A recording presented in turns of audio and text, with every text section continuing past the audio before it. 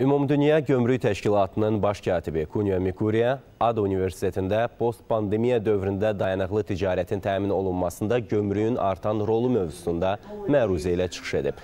Baş katib gömrük işinin əhəmiyyətindən, Ümumdünya Gömrük Təşkilatının fəaliyyətindən danışıb. Xüsusilə virusla mübarizə çərçivəsində zəruri dərman preparatlarının, vaksinlərin vaxtında təyinat nöqtəsinə çatdırılmasında gömrük orqanlarının fəaliyyətini müsbət qiymətləndirib. Kunyo Mikuriya gömrük işinin səmərəli təşkilində insan kapitalının xüsusi rol oynadığını və Azərbaycan gömrüyünün bu istiqamətdə mühüm işlər gördüyünü vurğulayıb.